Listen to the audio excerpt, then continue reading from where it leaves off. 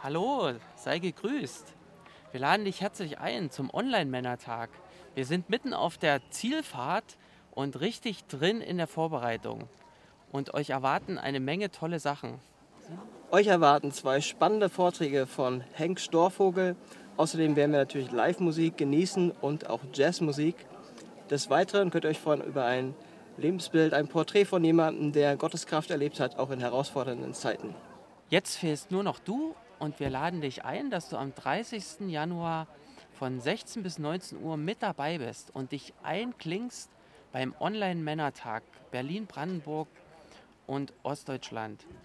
Du kannst dich einwählen über die Internetseiten von Wiedenest oder der EFG Oberkrämer und wenn du dich anmeldest, dann bekommst du den Link direkt zugesandt. Also sei dabei, mach's gut. Wir Tschüss.